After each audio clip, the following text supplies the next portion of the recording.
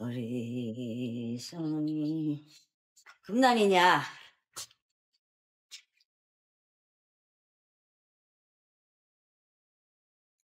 Đây chính là má của tôi hay sao?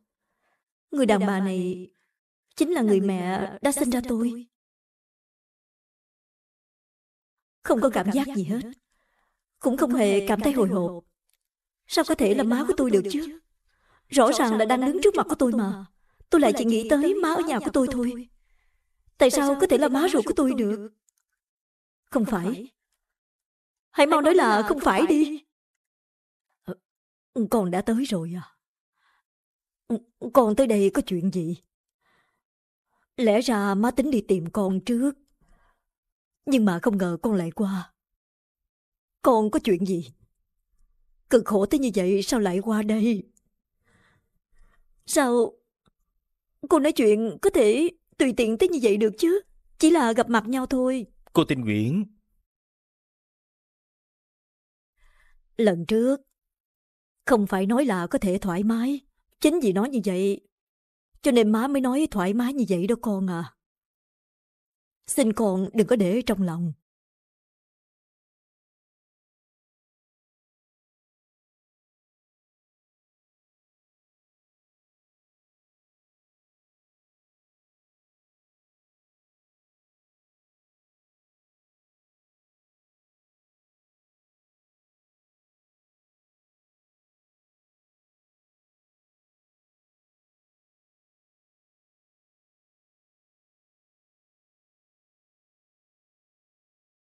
But after all this time, did I lose my love to someone better?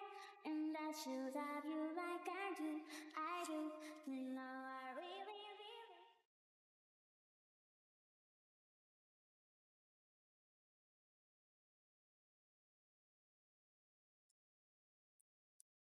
Anh à, tôi đã tới. Ờm, cô đã tới, xin mời ngồi. Được, Cô muốn uống gì? để tôi đi mua. À không, có cái việc nói đi tôi sẽ đi mua cho. Vậy thì tôi uống Americano. À.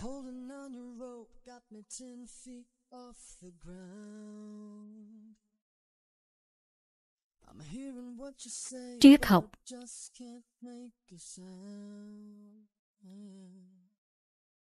You tell me that you need me, then you go.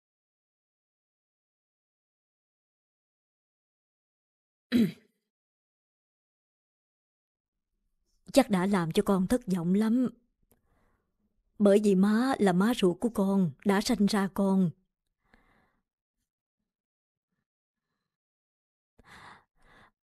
Má vẫn sống như thế này. Cuộc sống của má chỉ có như vậy thôi.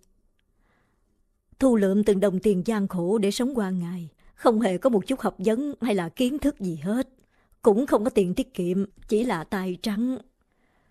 Miệng thì vẫn phải ăn, trong lòng thì như lửa đốt. Vẫn cứ phải kiếm sống qua ngày từng ngày một. Cứ sống mòn mỏi qua năm tháng. Có muốn chết cũng không thể chết được.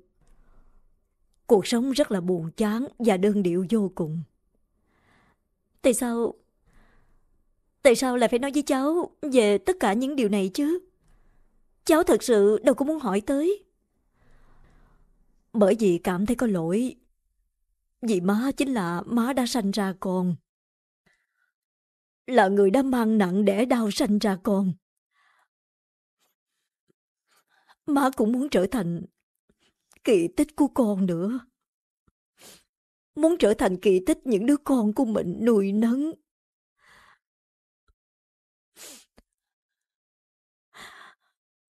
Má hình như là không có cái gì hết. Những thứ có được quá là ít ỏi. Má xin lỗi. Má thật sự rất xin lỗi.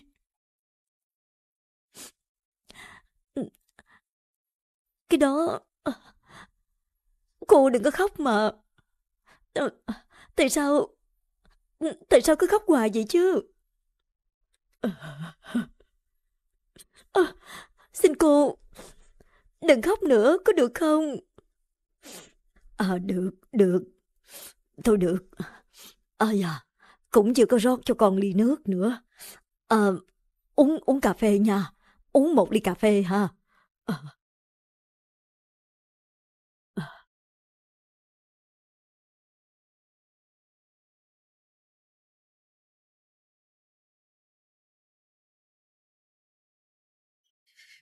Uh.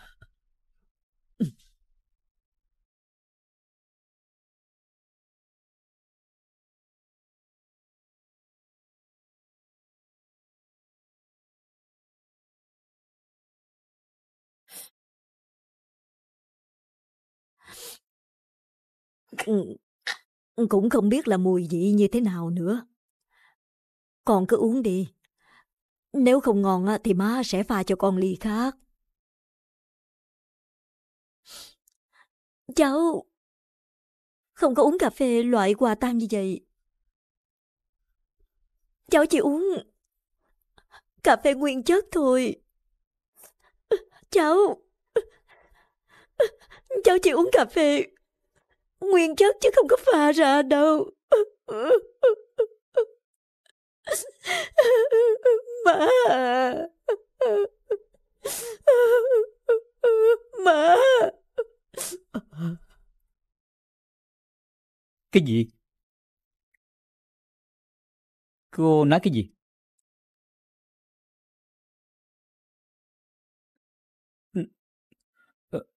Tại sao lại có chuyện như vậy? Bất cứ ai cũng rơi vào tình trạng hoảng loạn. Đó chính là nhà của tôi. Đó là má của tôi. Đó là ba của tôi. Có anh của tôi Và có chú của tôi nữa. Ngôi nhà đó đều có tất cả mọi thứ của tôi. Còn anh, sau khi kết thúc diễn thuyết, đã phải ngồi đây chờ tôi vài tiếng. Lý do anh phải ở đây. Có phải điều là gì, chị Hằng tin Nguyễn?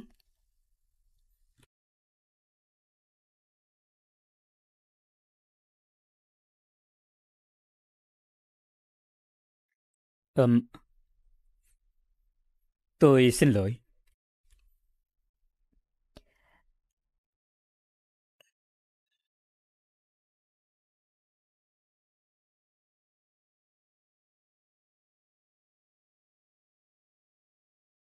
Coi bộ cô phải chịu đã kích gấp đôi.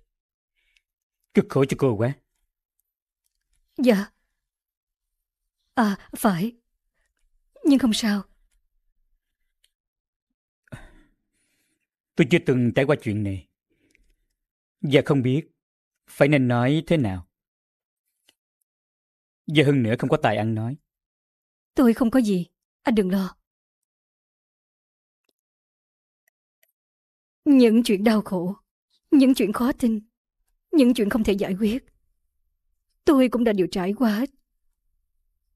Còn những chuyện vui vẻ, những chuyện hạnh phúc và những chuyện đáng mừng thì tôi không thấy ở đâu. Hình như nó không thuộc về tôi. Lúc nào cũng phải lo lắng, không biết nó sẽ bỏ tôi đi lúc nào. Tâm trạng thì thấp thỏm không yên. Cho nên luôn cảm thấy mình đau khổ. Thậm chí ngay cả những lúc vui vẻ cũng không biết là như thế nào. Sự đau khổ này không phải do bản thân của cô gây nên đúng không? Hả? Bắt đầu từ bây giờ, cô hãy thay đổi, mạnh mẽ hơn. Đừng để đau khổ đó lặp lại một lần nữa. Đối với hai tâm trạng khác nhau thì dù thế nào cũng phải kiên cường đối diện.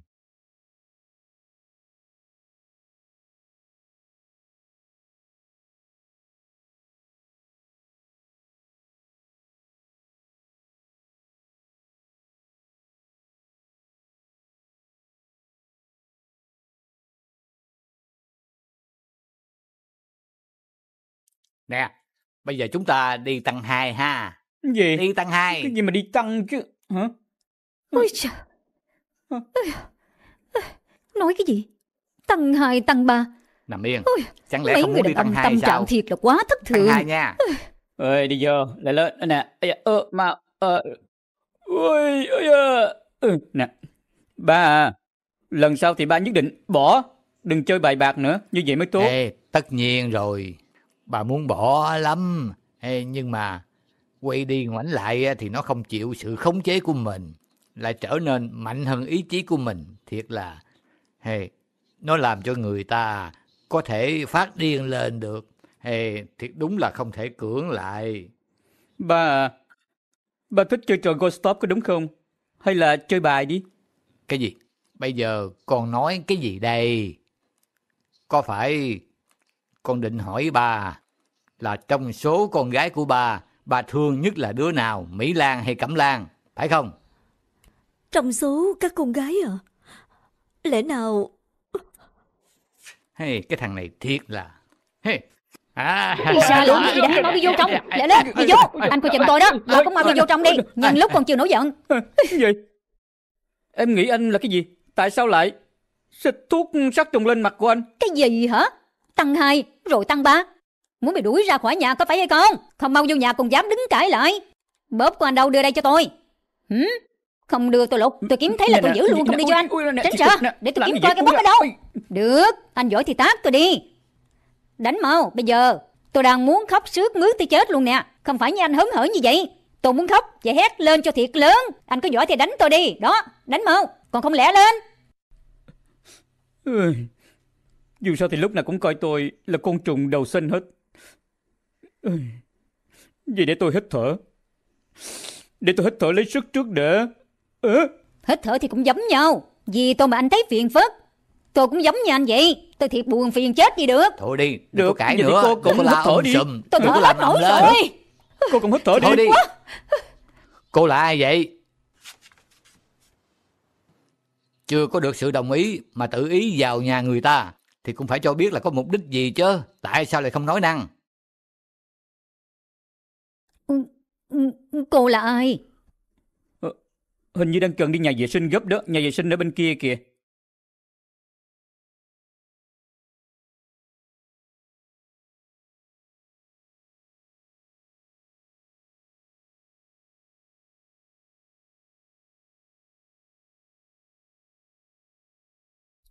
Ở chỗ chúng tôi đều là cà phê nguyên vị Xin hỏi bác muốn dùng loại nào Ờm, làm ơn cho tôi loại ngon nhất. Cho tôi loại ngon và mắc nhất của tiệm là được rồi. Dạ. À, Vậy để cháu chọn cho bác. À, cho tôi hai ly nha, hai ly. Dạ. Má Ờ, Cẩm Lan à, Có chuyện gì đó? Ngoại trừ cà phê 300 won thì có uống loại nào khác? Bây giờ tại sao lại uống loại đắt tiền nhất?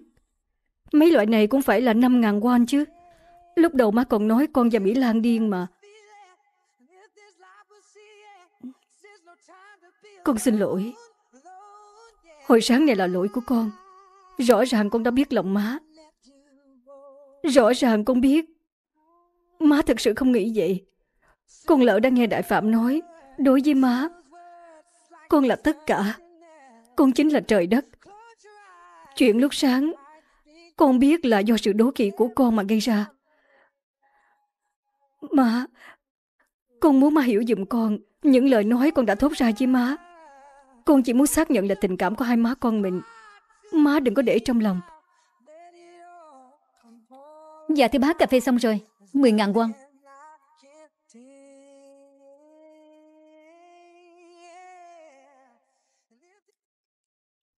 Má mua cho ai? Là mua cho Đại Phạm. Má, bộ má định giấu con để đi uống cho người tình hả? Ừ? Được. Con sẽ không hỏi nữa. Rõ ràng rồi. Một người là Đại Phạm, còn một người là Mỹ Lan. Vì để cho hai đứa có sức học hành thi cử, má thiệt là đã tốn quá nhiều công sức, hả?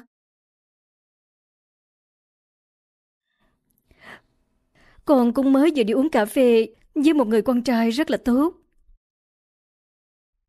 cái gì? Vừa uống cà phê với một anh rất tốt à? Ai vậy? Là người con mới chỉ quen gần đây, có nói ra thì má cũng đâu biết. Ơi, xem ra cũng hay quá ha. Lâu lắm rồi má mới thấy mặt con tươi tỉnh như vậy đó. Người đó không có phải là con nít, rất là đàn ông, là một nam nhi đích thực. Đàn ông đích thực à? Má, đây là lần đầu tiên con có thể gặp người đàn ông như vậy. Phải mất rất là lâu, con mới cảm thấy được. Ảnh là người con có thể tin cậy và bảo vệ cho con. Đã thích người ta rồi. Ừ, Vẫn chưa... Nhưng... Con có cảm giác con sẽ thích ảnh rất nhanh. Ơi chà, con giỏi lắm, làm rất tốt. Thiệt là tin vui mừng nhất má từng nghe được. Con phải cố gắng biểu hiện cho tốt, phải nắm giữ cậu ta trước khi cậu ta bị cướp đi mất nha. Nhớ đó, biết chưa? Hả?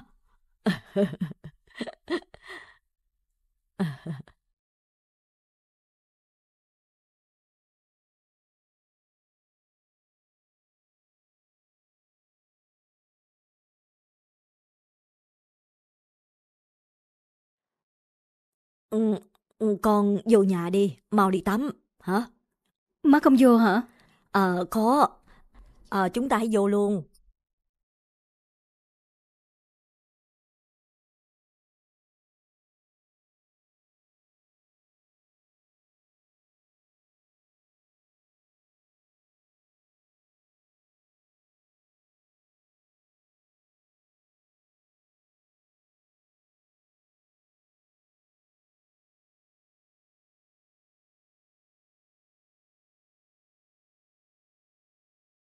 Ờ, bác gái. À, Ờ. Nè, uống cái này. Ờ, dạ, cảm ơn bác. Ly còn lại đưa cho con nhỏ giùm bác. Ờ, hay là bác hãy tự tay đưa cho cụ. Nhờ cháu đó, cứ giả bộ như là cháu mua. Dạ, cháu biết. Coi bộ thằng bé vẫn chưa ngủ à? Dạ, nói là đợi ru thằng bé ngủ xong rồi mới về. Chắc là mệt lắm cho nên cháu thì là cảm thấy hơi ngại. Cẩm Lan đã về tới. Bác không muốn hai đứa nó gặp mặt nhau. Dạ, Bác sẽ coi chừng thắng giận. Cháu hãy đưa con bé xuống nhà xe đi. Cẩn thận đó. Nó không có quen đường ở đây. Lại là một cô gái sang cả. Đi lại trong khu vực của mình rất nguy hiểm. dạ, bác đừng quá lo.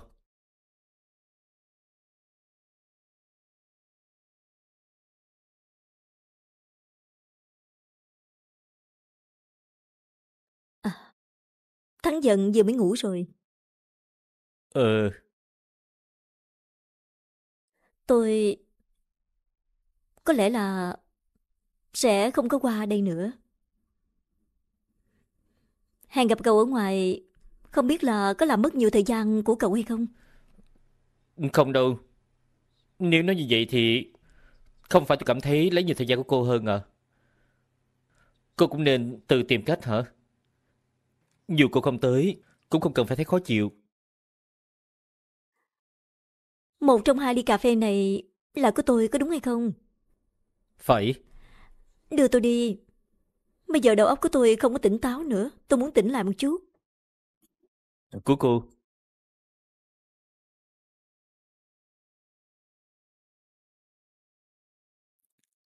Ừ, Chúng ta đi về. Để tôi tiễn cô. Tôi tự đi được mà. Cậu còn phải trông thắng giận. Sẽ có người coi chừng thắng giận. Tôi không thể nào để cho cô về một mình.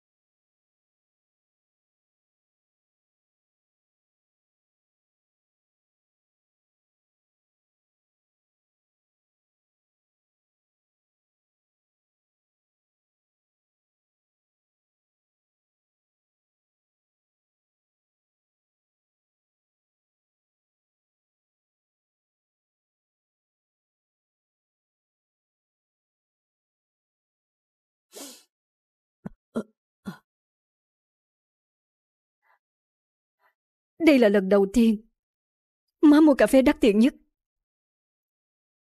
Má có biết, từ nhỏ cho tới lớn, má đều mua đồ cho con, lúc nào cũng chọn đồ rẻ tiền, mà là còn đồ rẻ nhất. Giá tiền không bao giờ hơn ai. Quần áo, giày dép, túi sách đồ buộc tóc. Thậm chí, ngay cả cái áo cưới của con, má nói chỉ cần mặc một lần, nên chỉ mua ở tiệm bách hóa thương mại, chỉ có 150 ngàn won. Mà má lại đi mua cà phê nguyên vị 5 ngàn won cho cổ. Và mua loại ngon nhất. Sao má không đi theo cô ta ra ngoài? Là tại vì con ở đây. Hả? Thôi con biết rồi. Để con đi vô trong. Má đừng lo. Má cứ đi đi.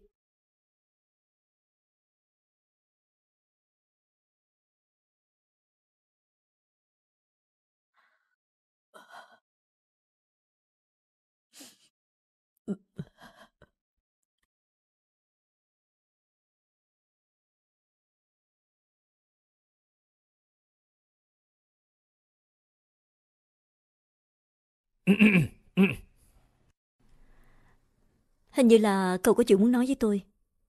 Tôi không có gì đâu. Cứ nói đi. Ở trong thế giới này thì là đầy rẫy nguy hiểm, không có điều gì là vĩnh hằng cả. Luôn cả tâm sự của chúng ta.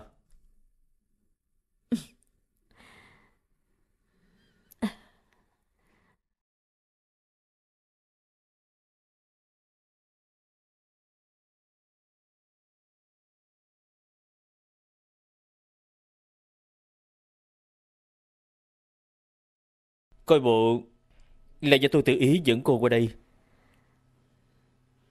Cũng nhờ có cậu mà tôi đã đưa ra được quyết định rất là mau chóng. Quyết định là quyết định gì? Hàng tình nguyện chỉ là một thứ rất bình thường. Nếu như với người khác, xa cách ba má ruột 28 năm, khi được gặp lại thì sẽ coi như đó là kỳ tích. Còn đối với tôi mà nói, tôi coi đó như là một thứ khó khăn. Bởi vì ba má ruột của tôi, những người thân đích tụ của tôi đều chỉ là một tai nạn. Ngoài dự định của tôi, tôi không mong muốn được gặp lại. Tôi chỉ muốn trốn chạy. Để không phải sống cùng với họ. Để không ảnh hưởng tới cuộc sống của tôi. Tôi muốn giả bộ như là không biết. Từ trước tới nay, tôi đều chỉ muốn sống như vậy. Tôi chỉ muốn tiếp tục cuộc sống hiện tại. Mặc dù đã biết rõ thân phận thật sự của mình. Tôi không muốn giả bộ. Tôi muốn sống một cuộc sống thật là bình thường. Mặc dù rất là xin lỗi. Nhưng mà tôi không thể trả lại cho Hoàng Cẩm Lan. Mặc dù tôi rất là ái ngại. Nhưng mà tôi vẫn muốn trong hoàn cảnh như thế này giữ lại được cuộc sống trước kia của tôi. Tôi không muốn mất cái gì hết.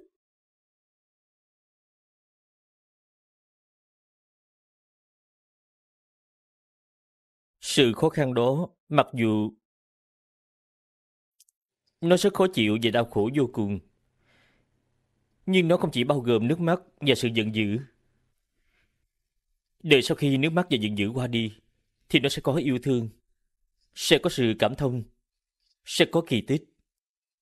Có thể như vậy. Giống như là ly cà phê này. Cái gì? Giống như là ly cà phê này. Vì muốn mua cho cô uống, bác gái đã tự mình ra tiệm. Để mà mua về ly cà phê này. Dù không biết gì là cà phê. Và cũng không biết cà phê Dream. Có lẽ bác gái lần đầu tiên tới tiệm mua. Bác đã tự bỏ tiền mua cà phê.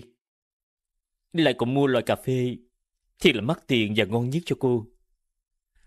Sự ấm áp của cà phê có thể coi như là sự ấm áp của một người mẹ.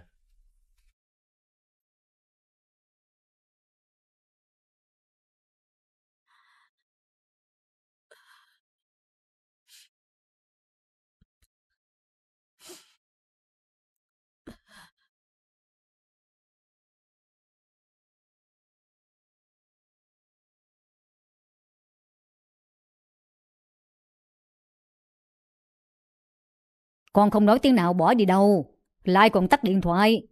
Má rất là lo cho con. Con xin lỗi. Bây giờ con lên phòng, má ngủ ngon. Trên tay là rác thì con hãy mau dục đi rồi đi ngủ nữa. Ngủ mà uống cà phê làm gì?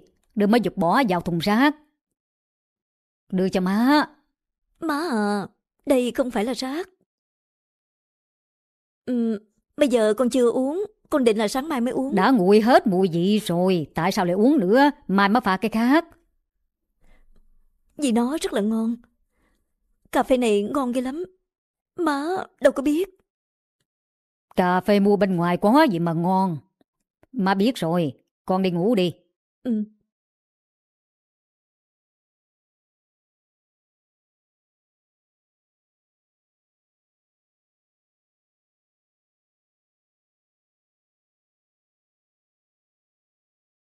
Ông vẫn chưa ngủ sao? Vì báo cáo vẫn chưa có làm xong. Chứ không phải trong lòng không yên hả? Bà hãy qua đây ngồi một chút. Tôi có chuyện bàn với bà.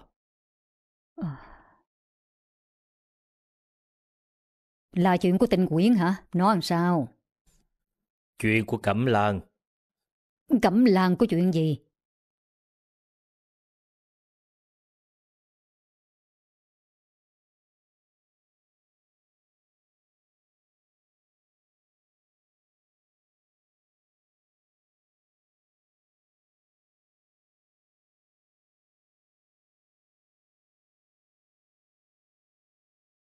Cẩm Lan!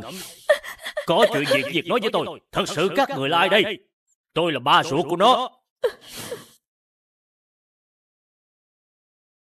Ông nói cái gì? Chịu sự đe dọa của xã hội đen.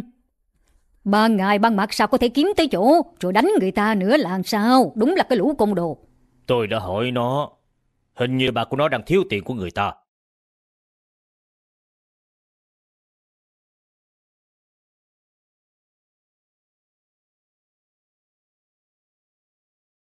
Thật ra ba má của Cẩm Lan làm cái gì hả?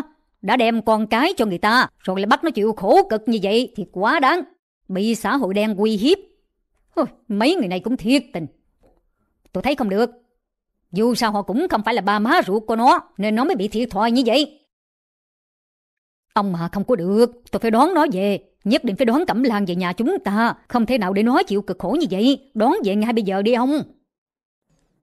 Bà đi gặp Cẩm Lan rồi hỏi đầu đuôi câu chuyện. Coi ba của nó nợ bao nhiêu tiền. Quan hệ của bọn họ là thế nào. Ít nhất cũng phải hiểu rõ tình hình. Thì chúng ta mới có thể giúp cho nó được chứ có đúng không? Ba cái gì mà ba? Ba của nó chính là ông nè. Không phải giúp đỡ mà là đón con của mình về nhà mình. Nếu rước nó về đây, rồi cảm giác con tinh quyển, tinh quyển của chúng ta sẽ nghĩ gì? Mình sẽ nói rõ với tình quyển. Sau đó chúng ta cùng sống chung một nhà. Như vậy không được hay sao? Chỉ có mình là ba má thôi hả? Không nghĩ tới cảm giác ba má của nó sao? Tôi đâu có còn tâm trí mà nghĩ cho ai nữa. Tôi chỉ nghĩ tới con gái của tôi thôi. Ôi, Ai mà dám động tới con Cẩm Lan, cho dù là họ hay ngay cả chính ông, tôi cũng không tha thứ. Không nên đi gặp Cẩm Lan thì nên gặp má của nó, tôi sẽ bảo vệ nó tới cùng. Bất kể là ai, nếu dám ngăn cản cuộc sống đáng thương của con gái tôi, tôi nhất định không tha thứ.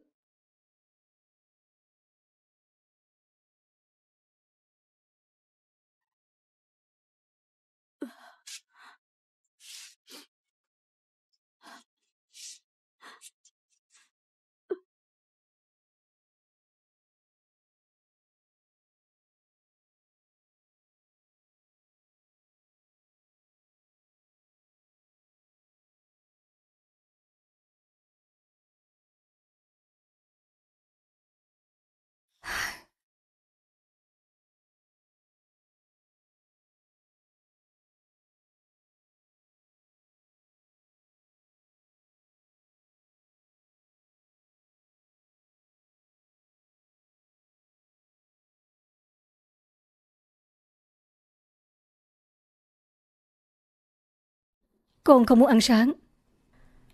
Cả ngày cứ mặc đồng phục làm cái gì? Không phải chỉ nên mặc lúc đi làm thôi sao? Con mặc như vậy có được không? Lỡ bị hư thì phải thế nào? Nó cũng đã bị hư rồi. Cảm ơn má đã lén sửa lại giùm con.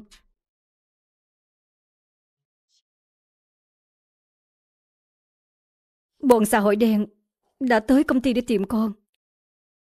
Cái gì? Rồi thế nào? Con có bị thương không? Bọn chúng không có làm loạn lên ở tiệm sách của con chứ? Cảnh con bị tụi nó bắt nạt. Đã được ba ruột của con nhìn thấy. Con... con... Vì ba hỏi, nên con cũng không có tiện giấu. Con đã nói ra hết sự thật. Có thể sẽ gọi điện thoại tới nhà. Cho nên má hãy chuẩn bị tinh thần trước. Thôi con phải đi. À phải, con có nói với hàng tinh Nguyễn. Cô phải trả lại cuộc sống của con. Con, con nói cái gì? Đã cướp mất 28 năm cuộc sống của con. Bây giờ con yêu cầu cô trả lại cho con thôi. Con đã nói với nó những lời như vậy à? Bộ quần áo đắt tiền, túi sách hàng hiệu. Cô có nhiều tới mức không thể đếm nổi. Nó cũng chỉ giống như thay bộ quần áo. Ngày nào cũng có bộ mới, không bao giờ bận lại bộ cũ. Còn con có được, thì cứ sợ là sẽ bị hư, sẽ bị lấy mất, sẽ không còn một cái gì để lại cho con. Giống như cái túi sách này của cổ để trên đất ở tiệm sách. Chắc chắn là cổ có, hơn cả 500 cái để dung dãy. Tất cả những thứ đó đều là của con. Những gì cô ta đang làm, những gì cô đang có, những gì cô đang mặc, tất cả những thứ đó đều là có thể của con. Đã bị người ta cướp mất 28 năm nay. Khi con nhìn thấy cổ thì con chỉ tức giận. Còn khi má nhìn thấy cổ thì má sẽ khóc hả? Mỗi lần nhìn thấy cô ta, con đều cảm thấy mình rất là oan ức.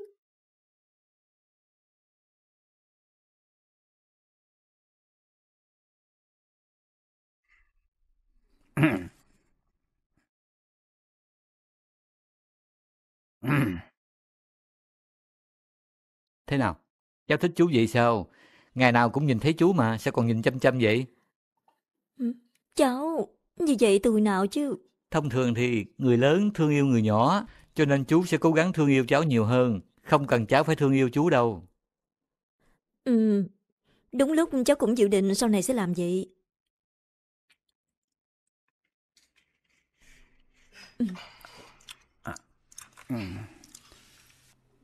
À, à, bà, bà, hả? Hôm nay xuất bản của bà sẽ được chuyển tới. Ba định à, làm sao hả ba? Hôm nay là ngày xuất bản sách của anh à. Hey, cái đầu của mình thiệt tình. Chỉ có vậy thôi mà cũng không nhớ nữa. Đúng là bị lẫn rồi. Cả nhà không ai chuẩn bị à, cái gì hết cho ba. Hàng tinh quyển, cô đừng có lúc nào cũng nghĩ sẽ đạt được cái gì. Phải nghĩ tới sẽ cho đi cái gì chứ. Hả? Ba, đưa con một cái bản danh sách. Con sẽ làm cho thiệt tốt cho ba. Con cố gắng dốc hết toàn lực làm cuộc xếp hàng dài, long trọng và trang nghiêm nữa. Giữa mọi người chỉ cần ăn bữa cơm là được rồi. Giữa giữa mọi người ờ, rốt cuộc là có bao nhiêu nhà? Ba không nghĩ như vậy là quá phí phạm hay sao? Nè, có đúng không hả? Em ngồi thừ ra như vậy. Hàng tình quyển, đúng là chẳng hợp gì với em hết à. Ali ba ba. Ây con nhỏ đáng ghét này à. Em á, không phải là em gái của anh. em cho rằng anh không biết. Nhưng lúc anh đang khuyên nó thì mau ra khỏi người em gái anh đi. Còn nữa, mau mau đưa em gái anh ra. À, Im lặng Ali đi. ba ba. Con làm gì vậy? Con đâu có phải là con nít nữa. Đã 32 tuổi, đang ăn cơm mà làm cái gì vậy? Con chẳng qua giỡn chơi thôi. Má làm gì mà tức giận ờ, dữ thần vậy? Con biết con ngậm miệng rồi ăn cơm. Nhà này đúng là có hai bà thím.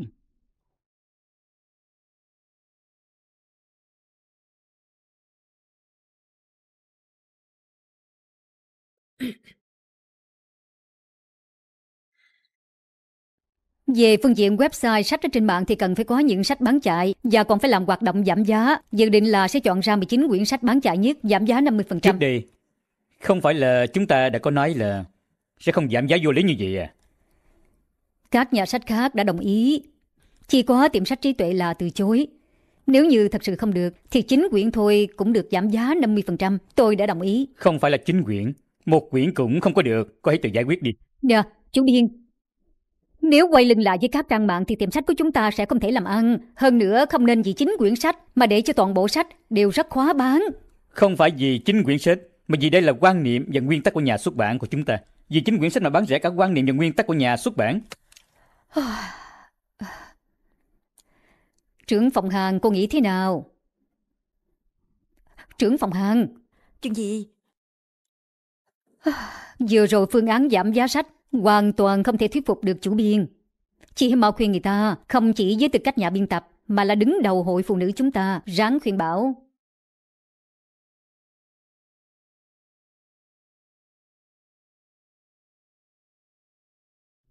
Tiếp theo mời đội số 1.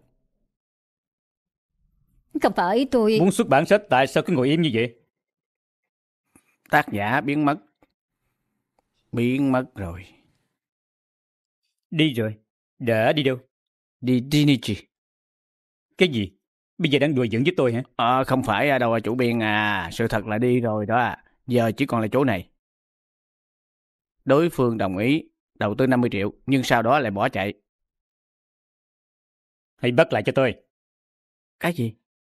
À dạ, người ta đã đi. À, mất dạng rồi. Tôi đã nói là bắt lại cho tôi mà. Ngay may lập tức, hãy bay máy bay qua bên đó, bắt về cho tôi.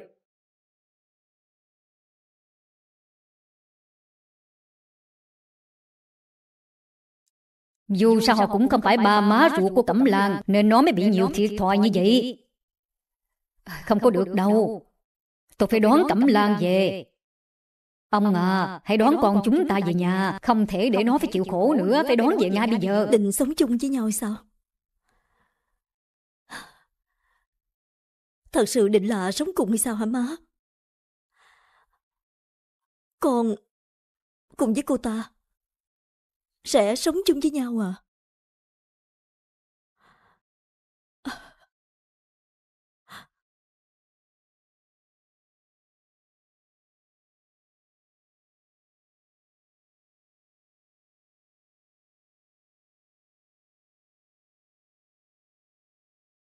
Ờ, chủ biên, chủ biên Tuần trước cuốn gì thế Nên yêu em đã bán được hơn 2.000 cuốn lần đó Gì hả? Vậy cho in thêm 3.000 bản, cũng không có còn thừa bao nhiêu. Mau in thêm đi. Nhưng mà tôi đã liên lạc với bên nhà in Họ nói là bây giờ đã kín lịch rồi Nhanh nhất cũng phải 4 ngày sau Như vậy bây giờ đi ngay qua bên đó để mà gặp tổ trưởng. Nếu phải uy hiếp cũng được, làm gì cũng được. Hoặc là khóa cửa xưởng in, dựa vào năng lực của cô hãy bắt xưởng in in lại ở trong hôm nay cũng được. Chuyện này Nhưng mà cái đó sao có thể dựa vào năng lực Là chuyện ngoài khả năng của tôi Dạ tôi biết rồi Ôi giờ cái con nhỏ khờ này.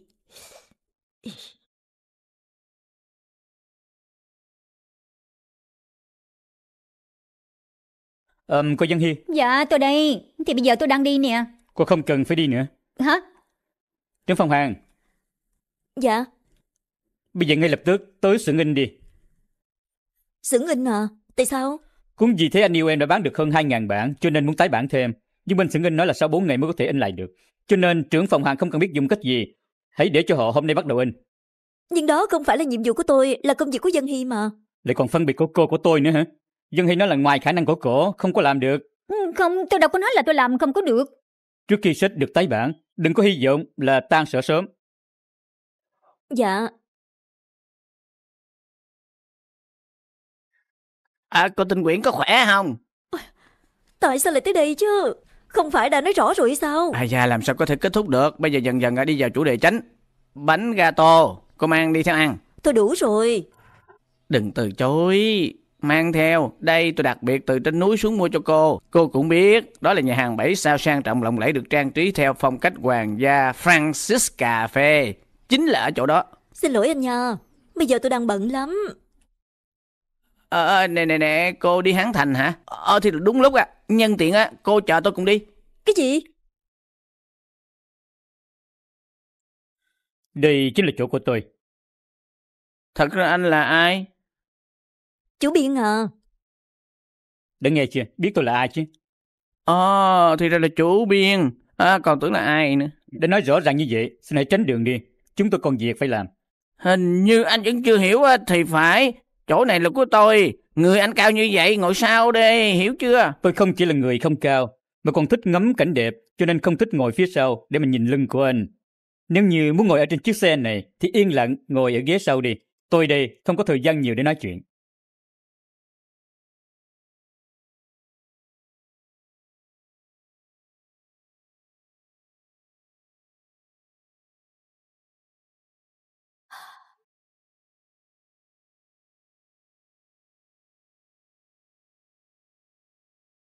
Chắc là chủ biên muốn tự mình đi tới xưởng in à? Ừm, không được hả? Không phải là không được, nhưng mà thông thường thì anh đâu có bao giờ xuống tới xưởng in. Tôi không phải là người bình thường mà là cực ngốc. Đã hiểu ý của tôi chưa? Cho xe chạy.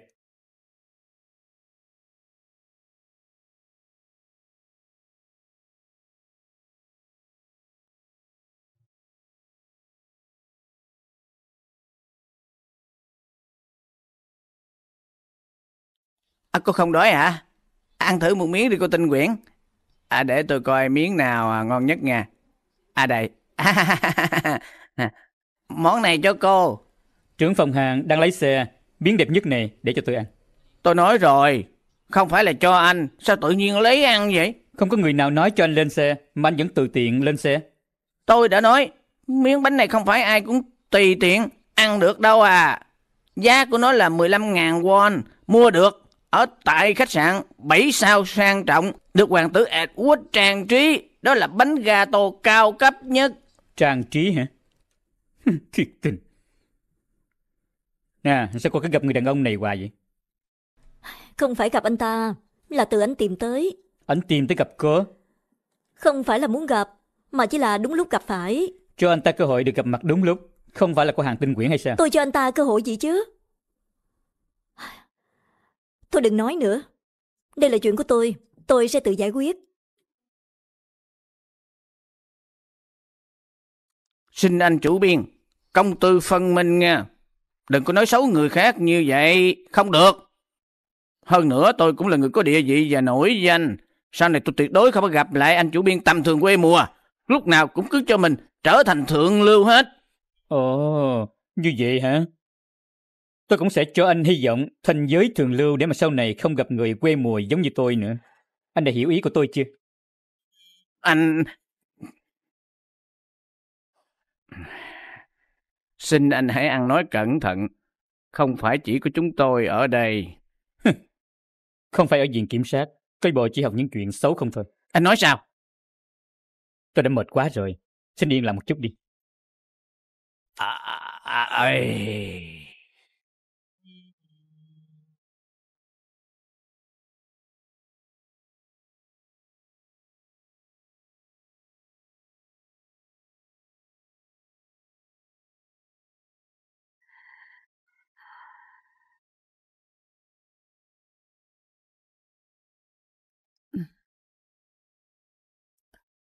Alo, Dạ, tôi đang nghe đây. Xin hỏi bà là ai?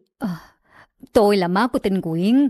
Ờm, đã gặp ở Bình Mau Đông. Dạ. Bình, Bình Màu Đông à? Là má của đứa nhỏ lần trước đã gặp ở quán ăn Ý. Là, là má của đứa nhỏ. À dạ, xin hỏi là có chuyện gì? Má ở tại Bình Mau Đông. Dạ, tôi không có tiện nghe điện thoại. Xin bà cứ nói thẳng ra. Tôi, tôi thiệt là không có nhiều thời gian. Tối nay bà có rảnh hay không? Hả? Thời gian rảnh à? Dạ. Hy vọng có thể gặp mặt khi tôi còn đang mềm lòng. Gặp nhau rồi mới nói sao. Đám nhỏ định như thế nào? Thời gian với địa điểm tôi sẽ nhắn tin lại cho bà. Cho nên tối nay hãy gặp mặt đi.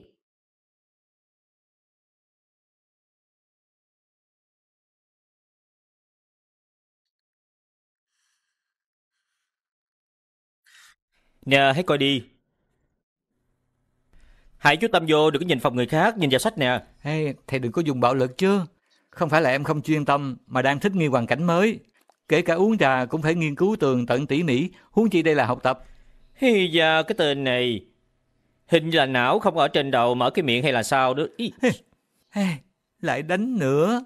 Nếu đánh thì đừng đánh vào đầu, đánh chỗ khác được không? Đánh chỗ khác hả? Ờ, ok. Cái miệng. Sau này sẽ đánh vô cái miệng. Mùng 10 tháng 4 là thi vòng 1 rồi.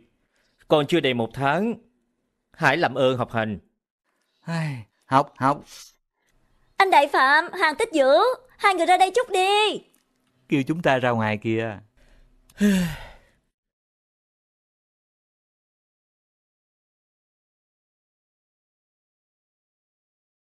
Cảm thấy cô đơn, hãy tới bên cạnh Angelina. Tôi sẽ cho bạn cái ôm ấm áp. Cái gì? Angelina? Vậy có điểm nào giống Angelina chứ? Đừng lộn xộn. À không, em muốn chóng mặt luôn. À... Thiệt là hết nói. Em làm gì đây? Còn làm gì nữa? Chuẩn bị cho buổi biểu diễn. Em đã lên kế sách và phương án. Bộ chị thật sự định là ôm hôn người đi đường hay sao hả? Ờ, sẽ làm như vậy. Chỉ cần thành công thì kể cả mặc bikini cũng đâu có vấn đề. Quý trời, Cho nên mới muốn thử nghiệm một chút xíu. thử nghiệm. Chị sẽ giải thích cho em nghe. Giả giờ hôn anh Đại Phạm. Hai người đóng giả như là người qua đường, tiến gần tôi một chút là được rồi. Sao lại ngây người ra? Hả? Cái gì? Bà cũng đang thiếu tình thương nè. Cho nên con hãy ôm ba cho thật là chặt. Không, con không thích. Không thích. Đã không thích sao còn làm? Có biết trên đường sẽ gặp bao nhiêu người không? Bộ con định là chọn đại rồi ôm hôn hả? Không phải như vậy. Nhưng mà con không có thích ôm ba. Cái gì? Tại sao?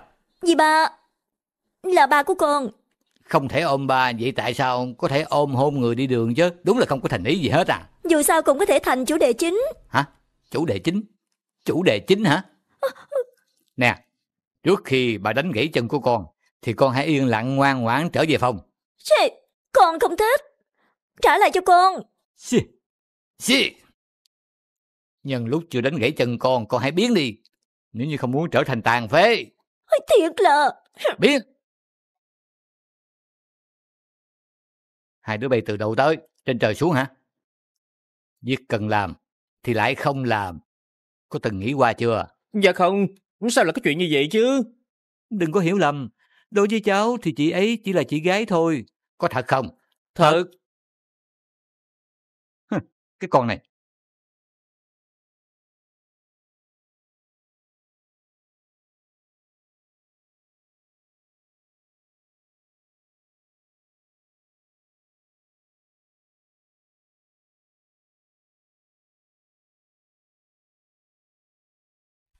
Dạ xin chào bà.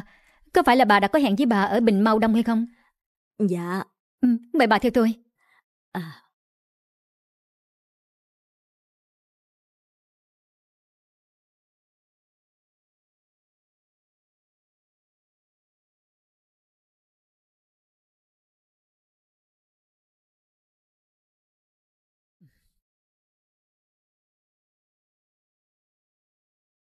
Dạ, xin mời bà ngồi.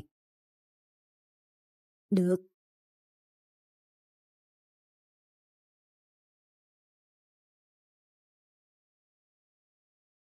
Tôi có thể giúp bà kêu đồ ăn ra hay không? Tôi thường hay tới đây. Dạ, bà có việc gọi cho bà. Tôi không ăn những cái thứ đồ đắt tiền như vậy. Hơn nữa tôi cũng không thích bà trả tiền cho tôi. Cho nên xin lỗi, bà có việc tự nhiên. Không cần phải bận tâm tới tôi.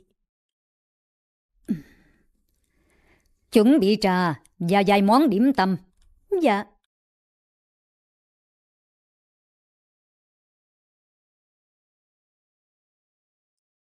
Là bà đã gọi tôi ra đây. Nên xin bà cứ nói trước. Trong tình huống này thì bất cứ ai cũng thấy ngại ngùng. Vậy tôi xin nói thẳng ra. Ờ, bà cứ làm như vậy. Tôi cũng cảm thấy ngột ngạt quá, cho nên chắc không thể ngồi lâu được. Tôi định đoán Cẩm Lan. Về ở chung với gia đình chúng tôi. Hay cho nó về với gia đình chúng tôi. Bà vừa mới nói gì? Tôi muốn bà nói lại lần nữa. Tôi định đoán con gái chúng tôi về nhà của chúng tôi. Con gái của chúng tôi. Mặc dù Cẩm Lan đó là con gái của bà, nhưng cũng là con của tôi. Bà bất ngờ gọi điện thoại rồi yêu cầu tôi phải trả lại con gái cho bà hay sao chứ? Dù bà nghĩ thế nào thì cũng không có sao. Chúng tôi nhất định sẽ đón con nhỏ về nhà chúng tôi. Vậy tình quyển thì thế nào? Con gái tình quyển của tôi, bà định bỏ rơi nó à? Sao? Bà vừa mới nói cái gì? Cứ làm vậy đi, cứ việc làm. Coi như nuôi một con chó con, rồi đem đổi với con mèo của nhà hàng xóm. Chúng ta cứ làm vậy là được rồi. Cứ việc đổi. Bà cũng cần phải đem tinh quyển trả lại cho tôi. Tôi sẽ không cố chấp. Sẽ trả lại Cẩm Lan cho bà. Không đâu. Hình như là bà đã hiểu lầm ý của tôi rồi. Cho dù Cẩm Lan hay là Tinh Quyển, gia đình chúng tôi sẽ nuôi cả hai đứa. Bà nói sao? Bà nói cái gì? Dù chúng tôi có mang Cẩm Lan về thì nó vẫn là con của bà. Nên nghĩ tới tương lai của Cẩm Lan, chúng tôi nuôi dưỡng nó thì sẽ tốt hơn ở nhà của bà. Bà hãy suy nghĩ cho kỹ. Ôi, ôi.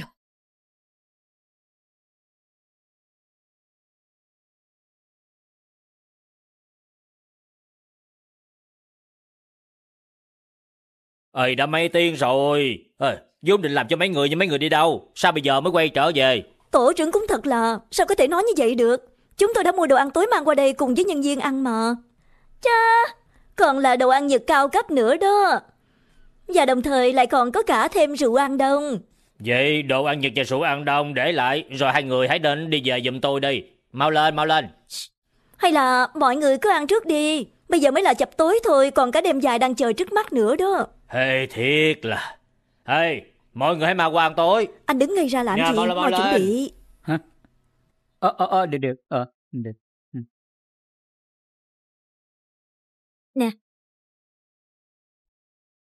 À, Ly đây. À, Ly đây. Hmm. Wow, chắc là ngon lắm đó. Ờ, Tổ trưởng, kính mời một ly. ê, ê, sao không ăn chung? Ngồi xuống mau. Coi ở trên truyền hình hay là coi ở phim điện ảnh, những tình huống như thế này rất dễ gây cảm động. Đối phương sẽ cảm thấy dễ chịu và không làm việc cực khổ nữa. Cho nên, nhân lúc mọi người đang ăn, chúng cháu định thực hiện chiến lược đó. Cái gì? Chúng cháu sẽ đi làm sạch máy móc. Mọi người cứ ăn đi nha.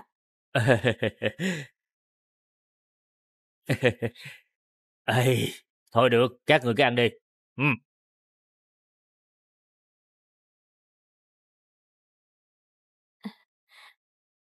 Tổ trưởng à, nếu như chú đột nhiên thay đổi ý định, muốn giúp chúng cháu in ra sách, thì mong chú hãy in màu thiệt đẹp cho tụi cháu nha. Phần tiêu đề có hơi tốn mực, nhưng mà xin chú hãy in màu vàng để in ra coi đẹp hơn. Cháu chỉ nói như vậy thôi, chú thật sự không cần phải để tâm đâu. Ờ, được, được, được, được, thua cô luôn đó. Được rồi, tôi sẽ giúp cô cậu, được chưa? Thiệt hả? Bái hay quá, cảm ơn chú, cảm ơn chú nhiều, chú tổ trưởng.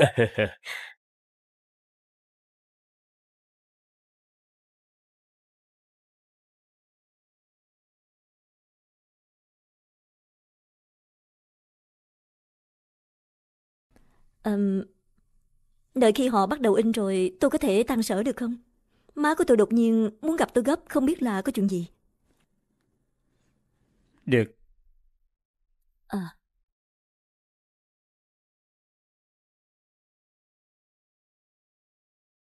Chúng ta cứ sống tiếp như vậy. Cũng như bà vừa mới nói, nếu cứ sống như vậy thì Cẩm Lan nó cũng vẫn là con gái của bà. Mặc dù cảm thấy không có được đúng đạo lý, nhưng mà sẽ không có ảnh hưởng nhiều lắm. Bà thật là quá tham lam. Phải nghĩ cho đám nhỏ, tại sao phải nghĩ cho chính mình? Vì suy nghĩ quá nông cạn như bà, nên Cẩm Lan mới bị ba nuôi và gặp phải sự uy hiếp của xã hội đen. Tôi không thể để Cẩm Lan ở chỗ gia đình mấy người. Đừng có để nó gặp phải chuyện gì khác nữa. Tham lam à? Đúng đó, cứ cho là tôi tham lam. Vậy còn bà thì sao? Vì giả tâm của bà nên muốn để hai đứa nhỏ sống cùng một mái nhà được à? Để hai đứa sống chung một mái nhà, bà nghĩ cái gì đây? Điều đó chỉ tốt cho bà thôi, nhưng mà với hai đứa có thể là cực hình. Kể cả trời có nứt ra làm đôi tôi cũng không có làm vậy. Chuyện hôm nay coi như là tôi chưa bao giờ nghe.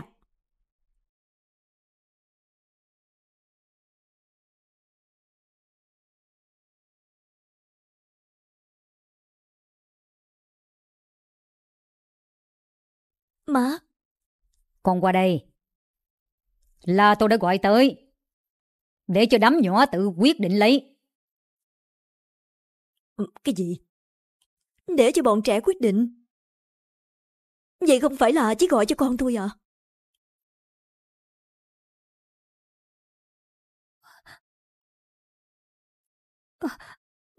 Má Má có chuyện gì à đã có chuyện gì xảy ra Hai đứa con, hãy ngồi xuống trước đã.